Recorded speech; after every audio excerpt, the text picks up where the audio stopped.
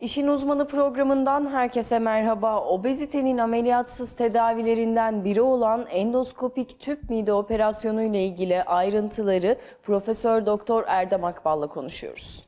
Endoskopik tüp mide, endoskopik sleeve gastroplasti olarak isimlendirilen endoskopi ile yapılan obezite tedavisinde kullandığımız endoskopik bir işlemdir. Endoskopun uç kısmına takmış olduğumuz özel bir e, cihaz var. Bu cihazda normal endoskopi yapar gibi ağız içerisinden girip mide içerisine e, cerrahideki yapılan e, tüp mide operasyonu benzer şekilde kesmeden dikiş atarak e, küçültüyoruz. Endoskopi ile yapılan bir işlemdir. Yaklaşık olarak da bir saat kadar sürmektedir. Kimler yaptırabilir bu işlemi?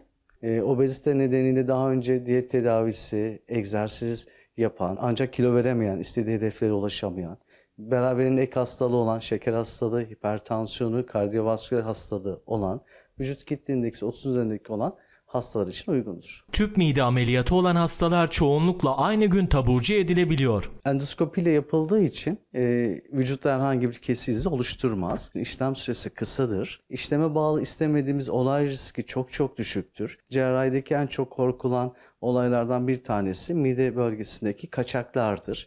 E, bu işlemde bir kesme yapılmadığı için sadece dikişle mide küçültüldüğü için bir kaçak riski taşımaz. Erken taburculuk ve günlük hayatına kısa süre içerisinde dönmesi en büyük avantajlarıdır. İşleme bağlı diğer bir avantaj da yapmış olduğumuz işlemin etkisinin kalıcı olmasıdır. Yani bu tedaviyle yaklaşık 7 yıllık 10 yıl içerisinde hastaların ortalama %20 kadar kilo kaybını koruyabilmektedirler. Diğer bir avantajı daha önce obezite tedavisi olan obezite cerrahisi geçiren, cerrahiyle tüp mide yapılan ya da bypass yapılan ve yeniden kilo olan hastalar var.